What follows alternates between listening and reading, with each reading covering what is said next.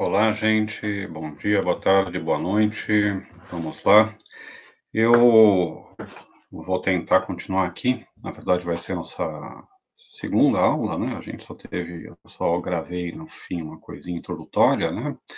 Uh, segunda aula de lógica, eu Estou com muita dificuldade de pensar como é que a gente vai fazer isso, né? Mas, enfim, porque, obviamente, na, gravando aulas, a gente perde completamente aquele encontro de quatro horas, no qual a gente tem um diálogo, é interativo, uh, eu ouço as dúvidas, respondo, a gente faz exercício e aquilo lá, né? Então, eu não sei, eu vou tentar fazer um curso meio modular, assim, fazendo alguns vídeos mais explicativos, outros só com exercícios, outros em que a gente vai fazer aquilo que eu tinha prometido, que é aplicar o que a gente aprendeu a leitura de textos, né? Então, vai ter vídeos em formatos diferentes, acompanhados, obviamente, dos textos, né? E aí a gente vai, eu vou tentar fazer um roteiro para amarrar tudo isso para vocês conseguirem estudar em casa, tá? E se preocupem em estudar, tá? Não se preocupem com a avaliação, se preocupem em aprender e não com aquilo que será cobrado de vocês. A gente meio de uma pandemia e, obviamente, eu não pretendo uh, exigir de vocês a mesma coisa que eu exigiria se a gente estivesse se encontrando toda semana, como deveria estar acontecendo. Eu vou gravar aqui no, através do Meet, vou tentar ver se está certo, né? Porque eu não sou muito bom com essas coisas. Eu vou ver se dá certo e vou apresentar aqui uns slides com, com a disciplina e vou comentando, né? Como se fosse exposição na sala de aula, né? E com o quadro negro, né? Como a gente não tem o quadro negro do lado, talvez, enfim, vamos, vamos ver o que acontece. Eu também tenho que ficar sentado, né? Eu só consigo dar aula andando de um lado para o outro, né? Na lousa, mas enfim, vou tentar ficar sentado e mexer o menos possível e ver se consigo explicar um pouco esse comecinho da disciplina para vocês, tá? Então, deixa eu apresentar aqui, vamos ver se eu subo uma janela. E aí, ok, esse aqui. Tá, muito bem. É para entrar. Será que entrou? Será que entrou isso aí? Acho que entrou. Bom. Vamos lá, gente. Vamos então começar nosso estudo da lógica, tá? E a gente vai começar mais uma vez com uma definição, tá? Vocês estão vendo aí a definição é lógica é o estudo do argumento válido ou da inferência válida, tá? Por enquanto a gente vai usar argumento e inferência como se fossem sinônimos, não são exatamente, mas para todos os efeitos, por enquanto não faz a menor diferença, tá? Então às vezes vou falar argumento, às vezes vou falar inferência, mas aqui é a mesma coisa, tá? Então, uh, dizer que a lógica é o estudo do argumento válido da inferência válida uh, não ajuda muita coisa se a gente não souber o que significa um argumento, o que significa validade, o que significa inferência, o que significa, então, essa propriedade, essa qualidade de ser válido ou não. Tá? Agora, uma coisa que eu quero dizer para vocês antes da gente começar, tá, é o seguinte: eu estou dando uma definição e essa definição, uh, ela pretende descrever o que é a lógica, tá? Mas, obviamente, lógica é uma palavra que a gente usa também no dia a dia, fora do contexto da sala de aula de filosofia, fora do contexto de um livro técnico, de um artigo técnico que está discutindo lógica. As pessoas usam a palavra lógica com sentidos bastante diferentes, né? Por exemplo, se eu falar de um sujeito e que, que quiser me referir a como ele pensa, ao modo estranho de pensar, falar, a lógica dele é meio estranha, né? Ou se alguém faz uma coisa meio burra, né, eu vou dizer faltológica nisso, tá? Uh, esses usos, eles são corretos, tá? Eu não, não é para você depois saírem e falar, ah, você está usando lógica no sentido errado, né? Palavras que significam muitas coisas, palavras que têm uh, uma, um campo semântico amplo, tá? Elas, obviamente, elas significam coisas diferentes quando são usadas em contextos diferentes. Né? Aqui a gente está falando da lógica enquanto um ramo de estudo da filosofia, né? e uh, então, nesse sentido, dentro da filosofia, dentro da matemática, dentro da ciência da computação, a lógica é o estudo do argumento válido ou da inferência válida. Tá? É como a gente chega, então, de uma afirmação a outra afirmação. Tudo isso eu vou detalhar um pouquinho mais logo adiante. Agora, se vocês, assim como eu disse, né, que as palavras, as pessoas usam a palavra lógica em sentidos diferentes quando estão usando no cotidiano, filósofos também usaram ou usam a palavra lógica para se referir a coisas diferentes, né? Ou tem concepções diferentes do que seja lógica. Às vezes, concepções diferentes resultam no mesmo produto final, no mesmo sistema lógico, no mesmo modelo lógico. Às vezes, resultam em sistemas ou modelos ou concepções de lógica completamente diferentes. Tá? Bom, eu estou tentando trabalhar com aquilo que é o mais padrão, o mais usual, né? Então, estou tentando trabalhar com os grandes nomes, Aristóteles, né, Frege, e assim por diante, porque são eles que estabelecem, digamos assim, o mainstream, né, aquela corrente principal dos estudos, né? Agora, por exemplo, se vocês lerem lá o, o, o, Aristóteles, né, primeiro que vocês não vão encontrar a palavra lógica, né, a palavra mais próxima em significado daquilo que a gente chama lógica, talvez seja a palavra analítica, né, Uh, tanto que tem os analíticos posteriores, analíticos primeiros, né, o analítica prior, analítica posterior. Analítica seria mais ou menos isso que a gente chama de lógica, né, essa análise dos argumentos para ver se eles são bons ou não. Mas quando ele fala de lógica, ou digamos, do, do que ele do que Aristóteles trata no órgão, que são seus, seus, seus seis livros de lógica, os seis livros que reúnem a obra lógica do Aristóteles, né? Categorias sobre interpretação, primeiros analíticos, segundos analíticos, refutações, sofistas e tópicos, né? Esses seis livros do órgão, eles são concebidos como justamente um órgão. Então, ele define a lógica como sendo o instrumento do pensamento e da ciência. Ele fala, olha, a lógica não é nenhuma disciplina, não é nenhuma ciência, não é nenhum conhecimento específico. Ela é algo tão básico que ela é uma propedêutica, ela é algo anterior à própria possibilidade de conhecimento e de ciência. Então, propriamente dita, a lógica não faz parte do conhecimento, ela é o instrumento do conhecimento. É aquilo que você que permite a você ter acesso ao conhecimento, tá? Uh, Outra definição muito comum ao longo de história da filosofia do que significa lógica é aquela que a gente encontra, por exemplo, no título da famosa Lógica de Paul Royal, que se chama justamente Lógica ou a Arte de Pensar, né, de autoria do Antoine Arnaud e do Pierre Nicole, publicado em 1662, nesse famoso centro de estudos jesuíta, né, ah, de Paul Royal. Bom, e uh, por que a arte de pensar? Arte aqui tem o sentido de ars, que é a tradução latina de techne, né? Então é uma técnica, um conjunto de regras, um conjunto de procedimentos, né? Que, inclusive, produz, muitas vezes, alguma coisa, né? Tem um resultado, tem um produto. As artes podem ser poéticas, né? Dizia Aristóteles. Bom, a arte de pensar é justamente esse modo correto de pensar, né? Eu posso pensar errado, né? E achar que, bom, uh, coisas absurdas acontecem, né? Achar que uh, Covid não mata e coisas assim, ou eu posso pensar corretamente, tirar conclusões corretas, né? Eu penso corretamente, o que eu estou fazendo é seguir a lógica, a lógica, então, é essa arte de pensar. Agora, vejam que, então, a lógica é concebida não como, um, digamos assim, um estudo, um conjunto de conhecimentos, e nem como um instrumento, mas a lógica, é concebida mais ou menos como se fosse a, a estrutura do nosso pensamento quando ele funciona corretamente, né? A lógica é, essencialmente, uma disciplina do pensamento House, um autor do século do século 17, né, ele tem um livro que se chama justamente Medicina da Mente, né, e que é um livro sobre lógica. Então a lógica é essa medicina da mente, ela cura a gente dos erros, né? Conhecer as falácias cura a gente de cometer falácias, tá?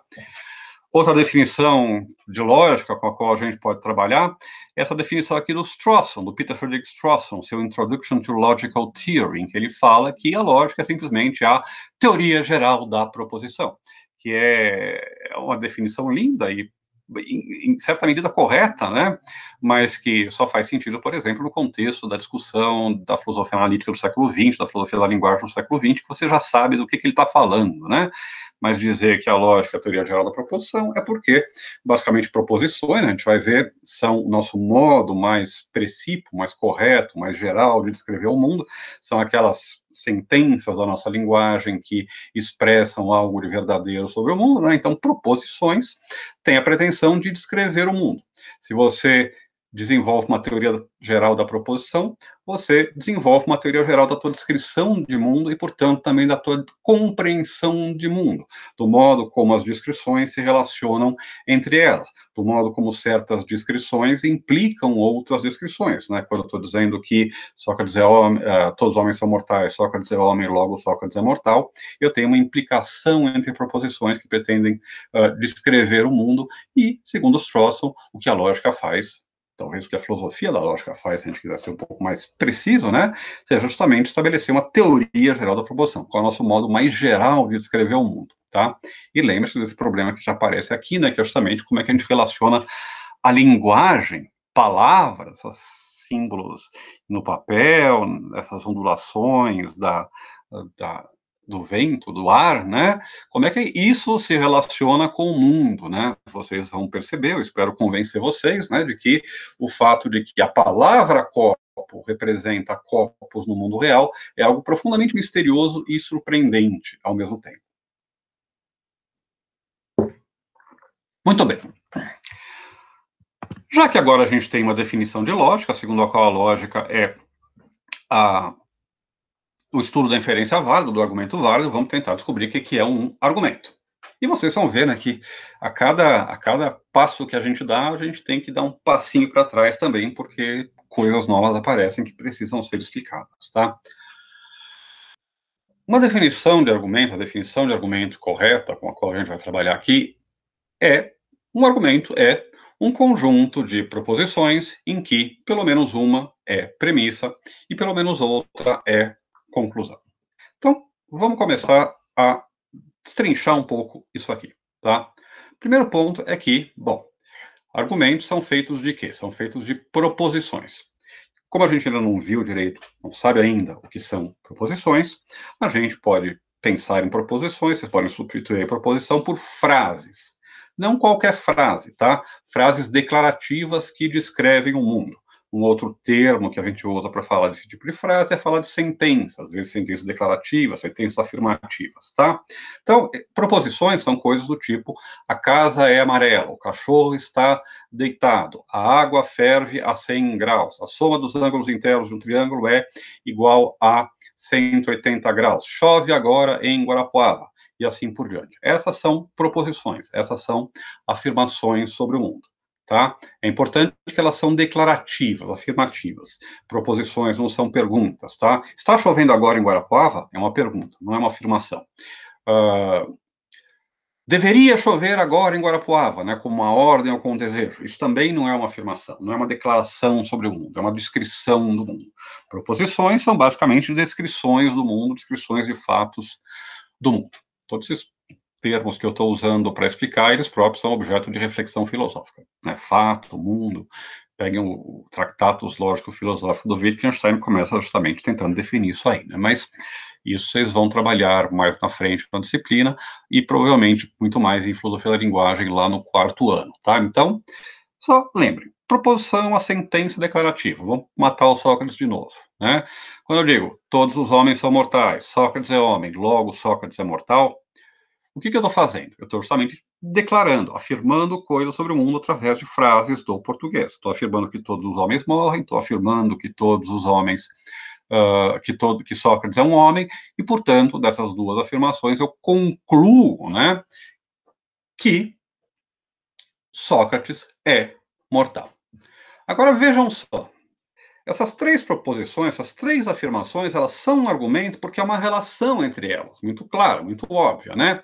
É pelo fato de que todos os homens são mortais, né?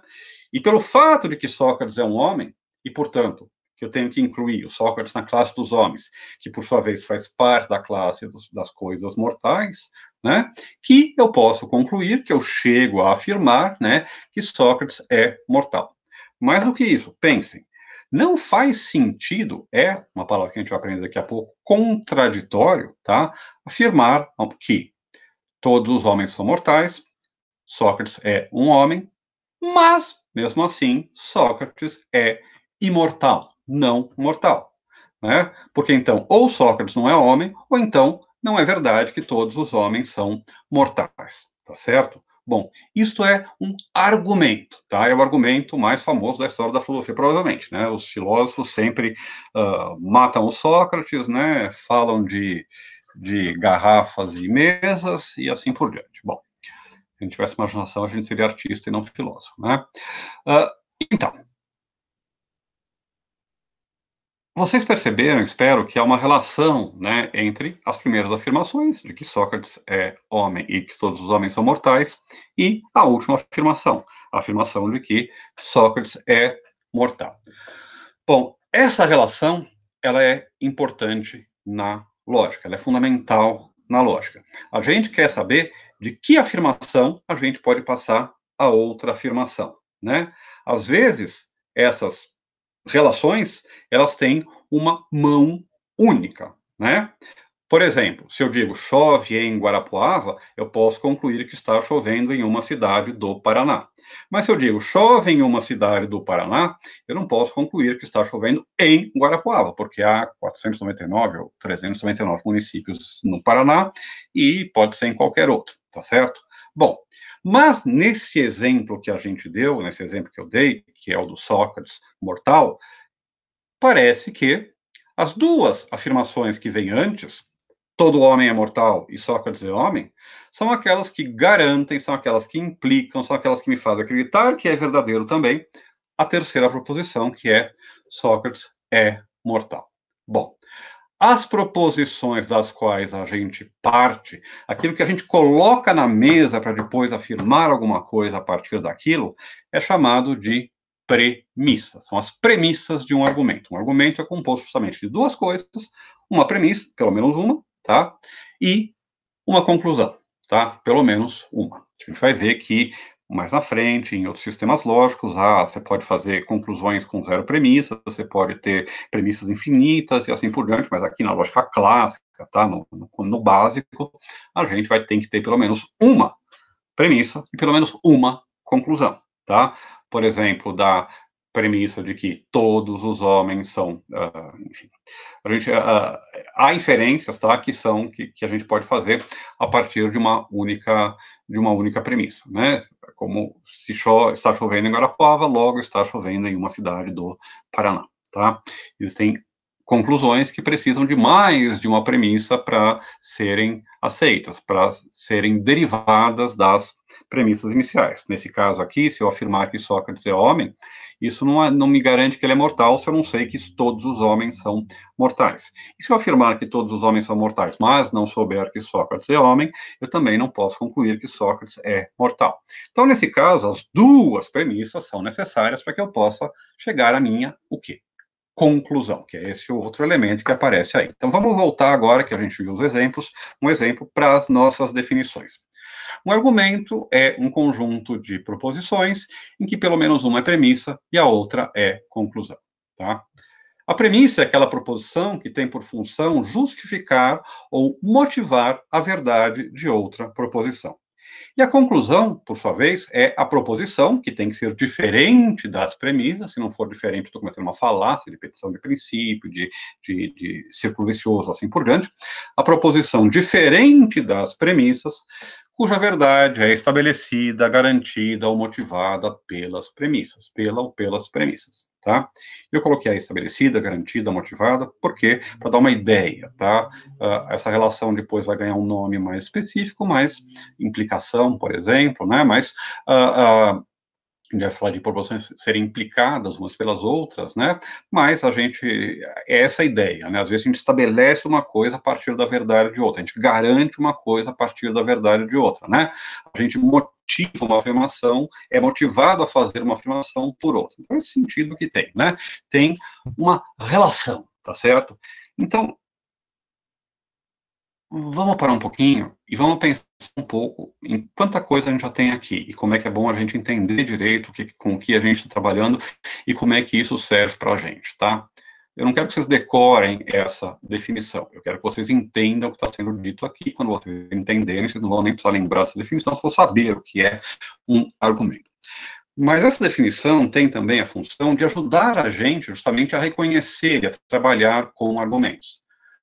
Uma pergunta que a gente vai encontrar bastante, seja quando você estiver lendo um texto de filosofia, lendo um texto de jornal, ouvindo uma análise na TV ou fazendo um exercício de lógica, isso aqui é um argumento? Isso aqui constitui um argumento? Né? A gente vai depois querer saber se o argumento é bom e ele garante a conclusão. Mas, por enquanto, uma coisa que a gente quer saber é se é um argumento. Muitas coisas que as pessoas apresentam como sendo argumentos, né, uh, não são, de fato, argumentos nesse sentido técnico, nesse sentido mais preciso em que a gente está trabalhando. Por exemplo, para ser um argumento, é um primeiro critério que a gente tem que verificar, a gente tem que ter algo que é composto de proposições, né? Algo feito de perguntas, né? Mesmo que sejam retóricas, elas têm que ser transformadas em afirmações. Algo feito de, de uh, expressões, onomatopeias que expressam sentimentos, né? Uh, frases mal formadas gramaticalmente que não significam nada, né, e assim por diante, elas uh, não servem, né, não para constituir um argumento. Então, se tem isso, já sei que não é um argumento, tá certo? Uh, se eu digo, uh, eu acho que deveríamos restringir o porte de arma, e você me responde, você é um idiota, né, isso não é argumento, tá certo? É outra coisa, mas logicamente não tem interesse ou função nenhuma. Então, a primeira coisa que a gente ter que fazer quando a gente quer saber o que é um argumento é saber se ele é feito de proposições, de afirmações sobre a realidade. A gente vai fazer exercícios sobre isso. O primeiro exercício que tem lá no Note né, é justamente sobre proposições, sobre argumentos e assim por diante. Agora, a gente também tem que entender qual é a função né, de premissa e conclusão. E para entender a função de premissa e conclusão, a gente tem que saber que há uma relação entre elas, uma relação que vai de uma para a outra, das premissas para a conclusão. Tanto que premissa significa justamente o quê? Pre, pré, né, aquilo que vem antes, e miter, né, em latim, colocar, né, pré, pré-miter é justamente você colocar antes, afirmar alguma coisa antes, né? Então, para começar, já que a gente quer discutir a mortalidade do Sócrates, já que a gente tem essa dúvida de saber se o Sócrates é mortal ou não, eu vou começar colocando como premissa, né, ó, todo homem é mortal e o Sócrates é um homem. Isso é aquilo que a gente aceita, aquilo de que a gente tem que partir. Se você não aceita a premissa, também uh, nem adianta continuar o argumento. E a conclusão, então, é justamente aquela proposição diferente das premissas, cuja verdade é estabelecida, garantida motivada pelas premissas. Então, quando a gente vê um argumento, além de procurar se é composto de proposições, a gente tem que ver se ele é composto pelo menos de duas proposições. Se ele é composto pelo menos de duas proposições, a gente tem que ver se ele é composto de duas proposições, onde uma é premissa e a outra é conclusão. E se houver, obviamente, mais, mais uh, premissas, mais, mais proposições, perdão, a gente tem que ver quais são as premissas e qual é a conclusão quando a gente fizer exercícios, isso aqui vai ficar um pouco mais claro. Mas vocês já têm aí, né, uma, uma, uma ideia do que seja um argumento, certo? Agora, a gente vai chegar ao conceito não de argumento, tá? Não do que esse conjunto com o qual a gente trabalha na lógica, mas a propriedade que interessa a gente nisso, que são argumentos, que é a validade. Então, eu vou dar uma pausa aqui, tá? Eu vou fazer uma pausa e a gente parte então desse slide que é o sétimo aqui da minha apresentação, também para ficar mais curto e eu conseguir baixar depois mais fácil do Drive. Tá? Eu vou dar uma pausa aqui, falamos agora do que é argumento, agora vamos ver o que, que é a validade de um argumento, tá? Logo em seguida, gente. Tchau, tchau, até mais. Vamos stop sharing, hide,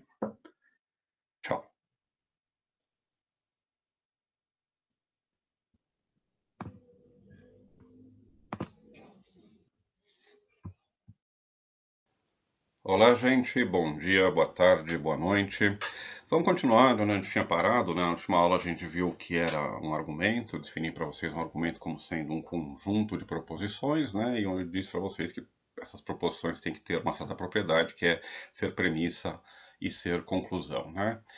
A gente vai voltar à ideia de argumento em breve, mas antes eu quero que a gente pare um pouquinho nessa ideia de proposição e quero apresentar algumas algumas coisas para vocês pensarem a respeito dessa ideia com a qual a gente vai trabalhar, tá?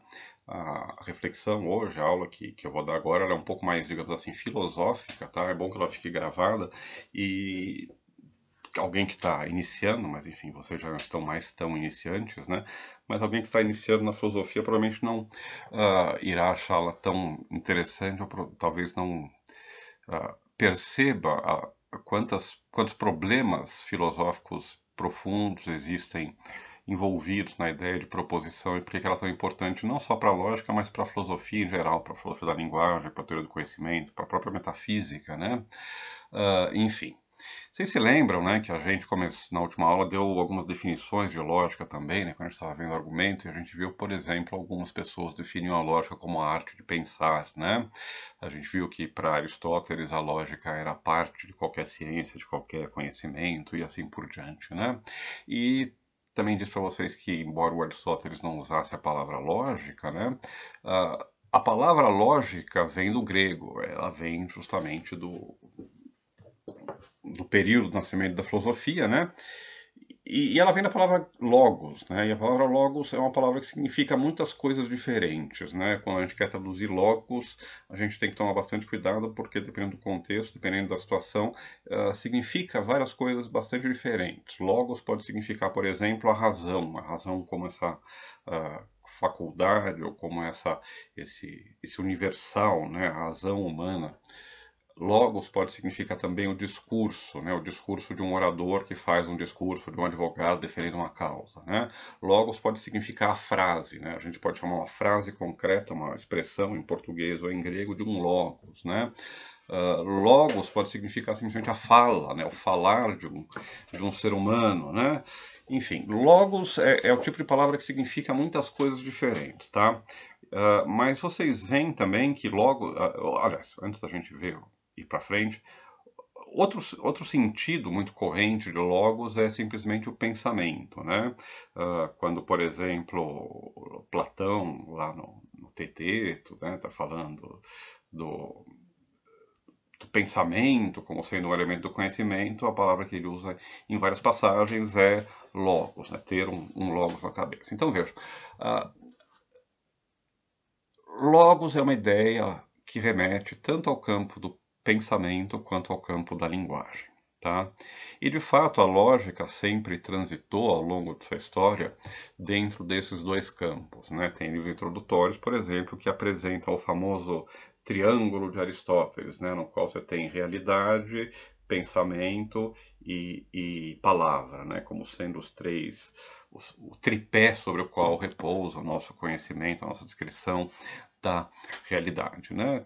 Nós olhamos o mundo, que é a realidade dada, nós interpretamos, transformamos esse mundo em pensamentos, né? Eu vejo uma árvore e eu transformo isso no pensamento, na consciência de uma árvore, e nós uh, produzimos, reproduzimos, compartilhamos isso através de palavras, né? Eu digo, eu vi uma árvore no campo, né? E compartilho esse pensamento que eu tive. Agora, vejam só. O fato da palavra lógica e da palavra logos, que deu origem à lógica, remeterem a todo esse campo, exige que a gente faça algumas distinções preliminares, que a gente uh, areje um pouco nossas ideias para saber de fato do que, que a gente está falando. Do que, que a lógica fala, com o que ela trabalha. Ela trabalha, afinal, com o pensamento, né? Como queriam os gregos, como queriam os modernos, ou ela trabalha com a linguagem, como queriam também os gregos, porque eles não dissociavam pensamento e linguagem, e os modernos também em certa medida, né? Ou será que a gente pode dizer que existe uma lógica puramente mental, né? E o que a gente faz com a linguagem é simplesmente reproduzir essa lógica, ou será que a lógica é do domínio da linguagem? Bom, essa é uma pergunta não tanto de lógica, mas de filosofia da lógica. E, em geral, a gente trabalha com a lógica como se ela fosse uma linguagem. A gente considera ela sendo essencialmente uma linguagem, atentando para o seu aspecto linguístico. Né? É claro que isso não deixa de lado as perguntas que a gente pode fazer sobre a sua relação, por exemplo, com o pensamento em geral, ou pensar, né? mas contemporaneamente digamos assim, a porta de entrada para a lógica, aquilo onde a lógica se constrói, é a linguagem, é na linguagem. Sistemas lógicos são, no fundo, sistemas linguísticos axiomáticos, com regras próprias, e assim por diante, tá? Bom, por que que eu quero... Por que eu estou dizendo tudo isso para vocês, tá? Porque eu quero, aqui agora, a gente pense um pouco, a partir disso que eu acabei de falar, sobre o que que é uma proposição, tá? Eu disse para vocês, olha... Uma proposição é mais ou menos uma sentença declarativa, uma oração do português, uma frase que diz algo, tá? Sim, proposições não são isso exatamente. Proposições correspondem a isso, tá? Ou são, digamos, expressam isso e assim por diante, tá? São expressas por, por essas entidades linguísticas e assim por diante, tá? Mas proposições são entidades de um tipo um pouco particular que a gente encontra bastante em filosofia e que a gente chama de entidades abstratas, tá? O que, que são entidades abstratas? Entidades abstratas são entidades que, diferentemente das entidades concretas, tá? Não estão colocadas no tempo e no espaço e não têm interações causais com as coisas, né? Uh, cavalos, garrafas e, e, e pessoas, né?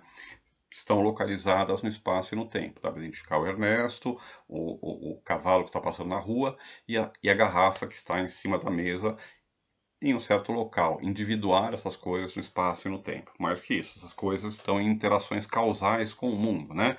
Se eu derrubar a garrafa, isso causa um barulho, né? Se eu uh, atropelar o cavalo, isso tem consequências, né?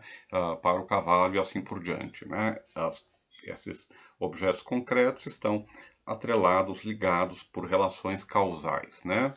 Que a gente chama de efetivas, né? Em filosofia, quando a gente quer dizer uma relação causal, onde digamos um certo ser modifica um certo tipo, um certo outro ser, a gente fala de relações efetivas. Né? Então nós estamos envolvidos em relações causais efetivas com o mundo à nossa volta. Objetos abstratos, não.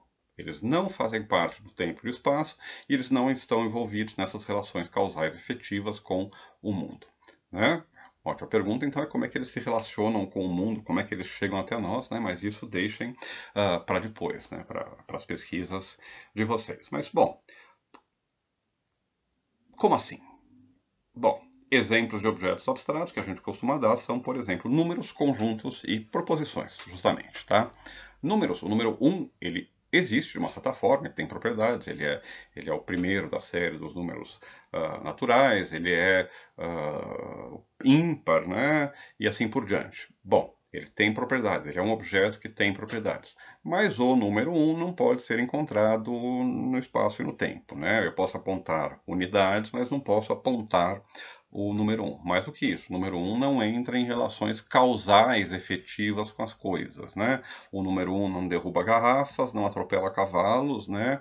E não, e não dá aulas de, de lógica. Eu posso dizer que há um copo em cima da mesa, eu posso dizer que 24 vezes 1 é igual a 24. Mas o 1, nesse caso, não está entrando de fato em nenhuma relação causal, não está modificando nem o copo que eu estou definindo como sendo um copo, nem o número 24 que eu estou multiplicando por 1, né? Bom, objetos abstratos, então, são desse outro tipo. Eles existem de algum outro modo que os objetos concretos. E proposições são objetos abstratos, tá? Quando a gente pensar em alguns exemplos, talvez isso fique, fique um pouco mais claro, tá? Então, vamos lá. Vejam só. Frases do português orações, sentenças, não são objetos abstratos, tá? Quando eu tenho um livro onde tem alguma palavra que está escrita, tá? Isso aqui, esta frase que está escrita no livro, ela é um objeto concreto, ela é feita de marcas no papel, feitas com um certo produto químico e assim por diante, né? Quando eu digo uh, a vaca está mugindo, né? Isso aí é uma modificação do ar, né? um objeto físico que se espalha no tempo e no espaço, né? E que veicula a ideia de que a vaca está mugindo no pasto. Tá? Então essas coisas não são proposições, porque essas coisas entram em, em relações causais com o mundo real. Se eu disser cuidado com o carro, essa frase, né, ela pode provocar o fato, o, o sujeito que estava para atravessar a rua não atravessar a rua e salvar a sua vida. Tá? Então, orações, sentenças, frases do português, né, falar não é um objeto abstrato, né? É outra coisa. Bom, Proposições, ao contrário, são objetos abstratos. Agora, então, vamos pensar um pouquinho o que, que acontece quando a gente fala, quando a gente usa orações, sentenças, quando a gente diz alguma coisa. Vamos dizer uma coisa bem simples. Vamos dizer, então, que a casa é amarela. Todo mundo que foi meu aluno sempre ouve esse mesmo exemplo, né? A casa é amarela. Bom, quando eu digo a casa é amarela, acontecem algumas coisas bastante interessantes, tá? A primeira é que todos vocês entendem, tá? E vocês podem dizer, bom, Claro que eu entendo, está sendo dito em português. Bom, mas talvez vocês nunca tenham ouvido esta frase antes. Talvez seja a primeira vez que alguém na vida de vocês tenha pronunciado exatamente essas palavras. A casa é amarela. E mesmo assim, apesar de ser apresentado pela primeira vez essa proposição, vocês não têm essa frase, perdão, vocês não têm nenhum problema em entender que a casa é amarela. Segunda coisa interessante que acontece é que nós entendemos de fato o que está sendo dito e nós todos então compartilhamos algo que aconteceu conosco quando entendemos que a casa é amarela. Né? Se uh, alguém disser para a gente a casa é amarela, e depois mostrar uma casa, perguntar esta casa é amarela, Se ela for amarela, a gente vai responder sim, se ela não for amarela, a gente vai responder não, porque todos nós entendemos aquilo que está sendo dito. Agora, vejam só. Uma coisa muito singular acontece.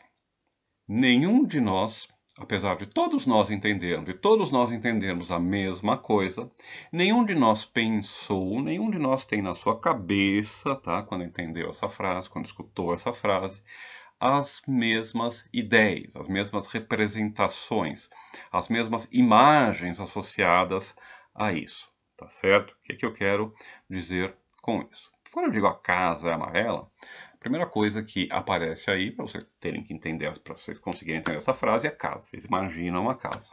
Né? Vocês sabem o que é uma casa. Todos vocês sabem o que é uma casa. Só que se eu pedir para vocês imaginarem uma casa, ou aquilo que vem em um primeiro momento na cabeça de vocês, quando vocês ouvem a palavra casa, é diferente em cada um de nós, tá? Alguns vão pensar em uma casa, em um apartamento, outros vão pensar em uma mansão? Se forem professores de filosofia, porque são ricos, né? Outros vão pensar em um casebre de madeira, um chalezinho na montanha, uma casa na praia com piscina e assim por diante. Cada um imagina a casa de um jeito diferente. Tá? E o amarelo também. Alguns vão imaginar um amarelo claro, outros escuro, o amarelo da seleção brasileira, o amarelo do, do, do, carro que passou na rua, enfim. Todos nós vamos ter tons de amarelo diferentes. Tá? Vocês podem me dizer, olha, mas professor, eu pensei numa casa assim, ele também, ele pensou no amarelo das camisas da seleção brasileira e ele também, tá? Se por algum acaso, que seria uma coincidência muito grande, duas pessoas pensassem exatamente na mesma casa e no mesmo amarelo, tivessem representações, ideias da mesma casa e do mesmo amarelo, ainda assim os dois não teriam a mesma representação da casa amarela, da casa e do amarelo, que o outro. Né? Por quê? Porque uma delas estaria na minha cabeça e a outra estaria na cabeça da outra pessoa. E cada um teria a sua. E a gente não pode compartilhar. Não dá para pegar o meu pensamento da casa amarela, tirar ele daqui e colocar ele na cabeça da outra pessoa. A telepatia, ao que parece, não existe, né? E a gente, então, para comunicar que eu tô, a casa amarela na qual eu estou pensando, eu preciso usar a linguagem pensamentos, tá? guardem isso, eles são privados, eles são, digamos assim, opacos aos outros. Eu não tenho como saber, literalmente, né, o que o outro está pensando. O outro pode me descrever o que ele está pensando, mas o acesso que eu tenho ao pensamento dele é através dessa descrição. Eu tenho acesso a essa descrição do pensamento e não ao próprio pensamento da outra pessoa. Então, cada vez que a gente ouve e entende a frase a casa é amarela, acontece, primeiro, a coisa fantástica, que cada um imagina uma casa totalmente diferente, um amarelo totalmente diferente, mesmo assim consegue entender, e acontece também né, que cada um está pensando em algo que não pode ser comunicado, ao qual os outros não têm acesso. Nós não temos acesso às mentes dos, dos outros, não temos, portanto, acesso às ideias dos outros. Tá? Não adianta eu colocar 50 mil eletrodos, eu mapear neurônios individualmente, eu abrir a cabeça de alguém com um machado, tentar olhar lá, eu não vou achar a representação, o pensamento que a casa é amarela, tá? Pelo menos hoje em dia, né? Futuro, ninguém sabe, mas pouco provável, mesmo assim. Bom, muito bem. Então, a gente já sabe, né, que a gente ouve alguma, entende alguma coisa comum né? Mesmo que pensemos coisas diferentes. Isso que é comum, este objeto comum a todos nós quando pensamos na casa e no amarelo, a gente pode chamar de pensamento objetivo, tá? Um nome que a gente pode dar, pode ter nomes melhores ou piores, tá? Não, não, é uma definição de o que seja o pensamento objetivo, tá? Mas a gente pode chamar isso aí de pensamento objetivo, aquela parte do pensamento que é compartilhada. Então, de certa forma, não é só apenas pensamento na cabeça de alguém. Né? Ele é um conteúdo, é um conteúdo que pode ser compartilhado. Né? É isso que eu posso passar para o outro. Bom, então vejam só. Quando eu digo que a casa é amarela, houve alguma coisa que vocês entenderam, né? Que é comum a todos. E mais do que isso, é isso que vocês entenderam, que vocês sabem que torna a, a essa proposição verdadeira. Se eu digo a casa é amarela, e depois eu pergunto, é verdade que a casa é amarela? E eu mostro para vocês esta casa aqui, tá? Linda, desenhada por mim, que é azul e branca, né? Não tem amarelo nenhum aí. Pergunta, esta casa é amarela? Vocês vão me dizer, não, não. Essa casa não é amarela, é falso que a casa seja amarela. Não é verdade que a casa é amarela. Por quê? Porque a gente sabe que as condições de verdade da proposição ou da sentença, a frase é amarela, ah, perdão, a casa é amarela, né? As condições de verdade, eh, a gente conhece as condições de verdade dessa, dessa proposição. Dar uma pausa aqui. Não, não vou dar pausa. Vocês, eu, eu acho que eu, eu me enrolei um pouco nessa passagem, vamos, vamos voltar lá. Bom, a gente entende então o que é verdadeiro e o que é falso, né? E, portanto, aquilo que a gente entende está relacionado com o valor de verdade do que foi dito, com ser verdadeiro ou falso, tá? Então, onde é que eu quero chegar agora? Vejam só. A proposição é o sentido de uma frase, de uma oração, de um enunciado, de uma sentença, de alguma coisa que foi dito, tá? Eu posso dizer a casa é amarela. E o que você apreende, aquilo que você entende, é o que corresponde à proposição. Você apreende não só o enunciado, mas também a proposição que é enunciada pelo, uh, por esse enunciado, por essa frase, por essa oração, né? por essa entidade linguística que diz, que, que aponta, que remete à proposição. Mais do que isso, tá? Quando a gente entende uma proposição, a gente entende as condições de verdade, a gente entende aquilo que torna verdadeiro ou falso uma proposição, tá? Como é que a gente vai dizer isso? A gente vai dizer primeiro então que uma proposição é o sentido de uma oração. Uma proposição é o sentido de uma frase. Uma proposição é aquilo que é veiculado, é aquilo que a gente compreende quando uma frase qualquer ou uma oração qualquer é dita. Isso significa, então, em primeiro lugar, o seguinte: significa que a mesma proposição pode ser veiculada por orações diferentes, por enunciados diferentes, por frases diferentes. Para dizer que a casa é amarela, tá? Eu posso dizer a casa é amarela. Eu posso dizer a moradia tem a cor da camisa da seleção uh, número 1 um, da, uh, da camisa número 1 um da seleção brasileira, tá? Uh, eu posso dizer the house is yellow. La maison est jaune, la, la casa é gialla e assim por diante. Tá? E todas essas frases diferentes, em línguas diferentes, elas dizem a mesma coisa. Elas têm, então, o mesmo sentido, guardem isso, elas têm o mesmo sentido, e elas se tornam verdadeiras ou falsas exatamente sob as mesmas condições, sob os mesmos critérios. Né? a casa, é dizer que a casa é amarela, é verdade. É, vamos lá. A, quando é que a casa é amarela é verdadeiro? Quando a casa é amarela. E quando é que the house is yellow é verdadeiro? Quando a casa é amarela. E quando é que la maison est jaune é verdadeiro? Quando a casa é amarela. As condições de verdade dessas frases diferentes são as mesmas. Elas têm a ver não com as frases particulares, então, mas com a proposição que é veiculada por elas. Tá? Então agora a gente pode oferecer uma definição de proposição. Tá?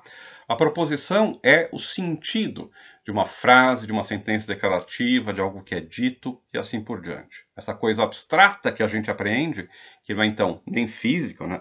não é uma coisa concreta, material, e nem mental, algo que está na minha cabeça, mas é uma coisa de um terceiro tipo, abstrata, esse sentido é o que corresponde à proposição. A gente pode dizer então que a proposição é o sentido de uma oração ou de uma frase.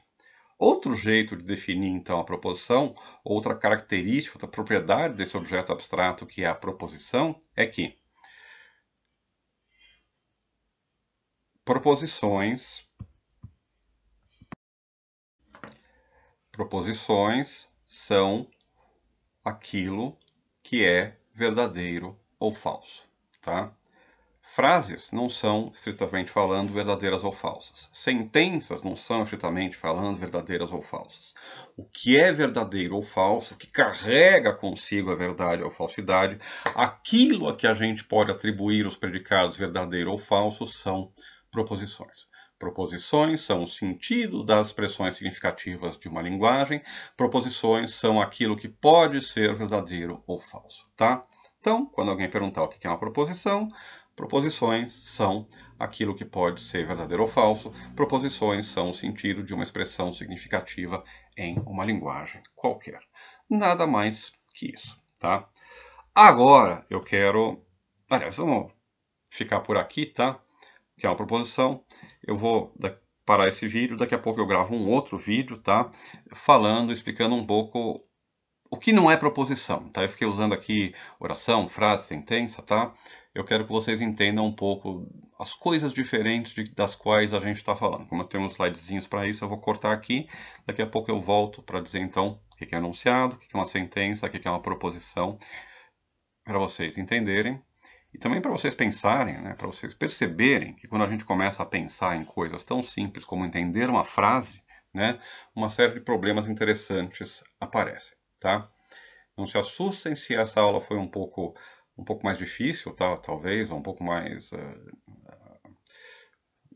distante de preocupações concretas, né, de aprender o que são argumentos, assim por diante, tá? Mas eu acho que ela, ela vai provavelmente adquirir um pouco mais sentido mais para frente, quando tiver mais para frente no curso, tá certo? Mais uma vez, é bom que a gente possa gravar, porque assim vocês podem voltar para ela, tá? Vou ficar por aqui. Uh, bom dia, boa tarde, boa noite para vocês. Até daqui a pouco.